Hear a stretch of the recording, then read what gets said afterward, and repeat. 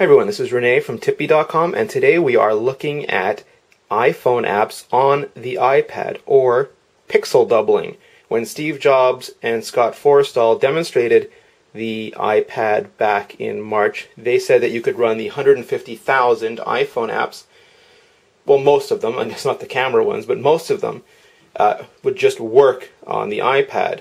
So uh, the way that happens is you either get a little letter and pillar boxed version of the iPhone, looks almost like an emulator in the middle of the screen, or you can click a button and pixel double it. So it, it literally makes twice as many vertical and twice as many horizontal pixels for the app and tries to fill the screen.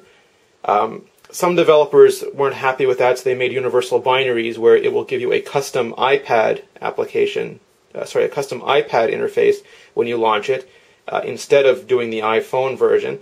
Others decided to do separate iPhone and iPad apps, and those are the ones we're going to look at because they're the ones we can actually see side by side.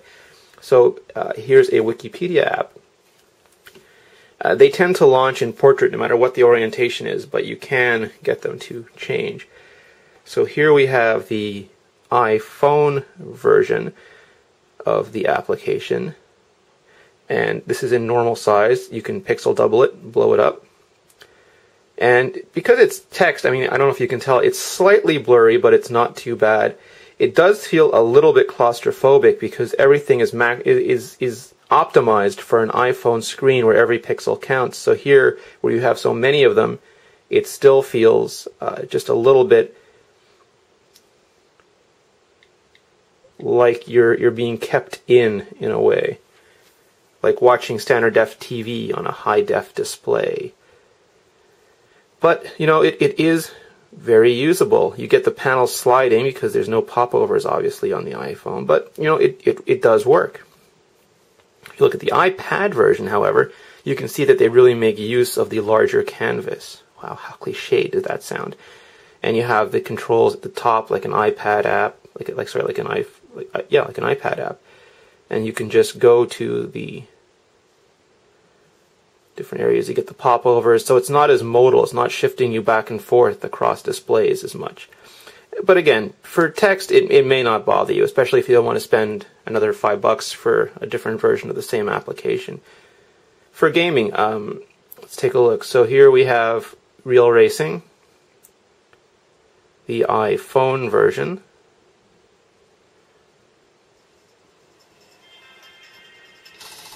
And we are going to pixel double this bad boy. And you can see there's a little bit of aliasing going on, a little bit of the blurry double chunky, but it is it is still pretty good. It's it's kind of like I don't have a good analogy. It's kind of like if you watched a DS game on a, a smallish but a realish TV. Let's get into the actual game.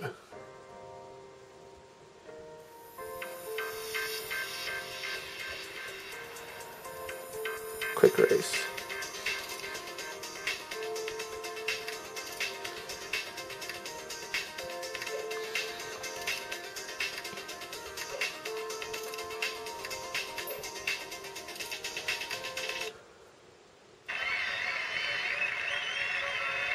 So you can see again, it's it's not bad. I mean, is it it's Nintendo Wii compared to a PlayStation 3? Maybe, but if you've already bought this game, you, you might be happy with this.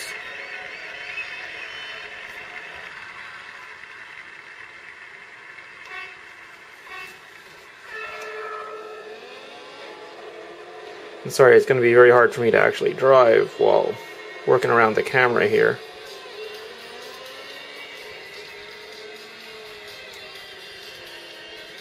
Alright, so now we'll look at the HD version which is essentially the same game. Just Firemint spent a lot of time um, making sure it looked good at this size and also optimizing the use of screen space because you can do a lot more again with this bigger screen.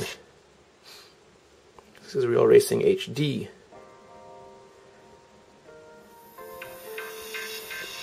See, there's no uh, jaggies in this version. All the graphics are crisp and clear it also um, doesn't pop up as many things, so it makes me happy.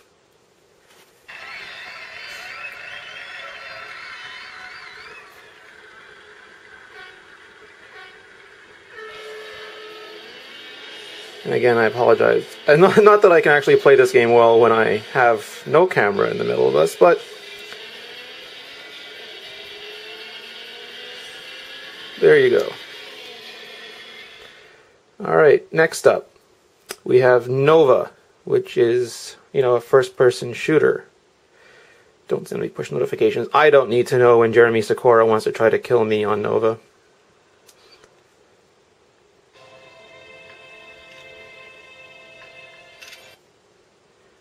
So, pixel double away.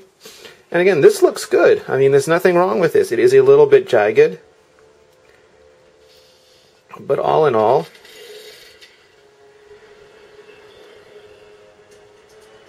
looks quite playable.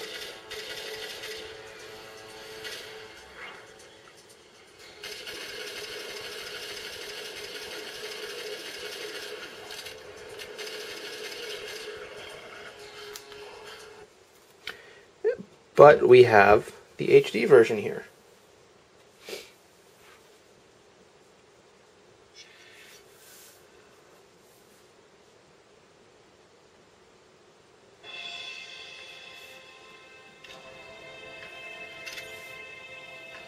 I haven't played this yet on the iPad, so it's not as far ahead.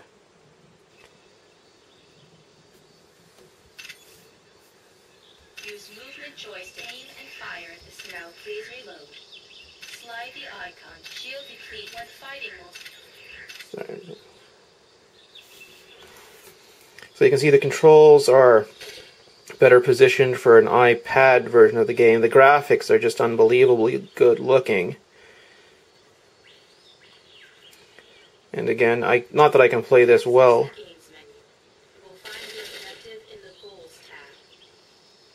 but it in general it makes use of much it makes use of the screen to a much greater degree. Um, something simpler more casual perhaps. Here we have we rule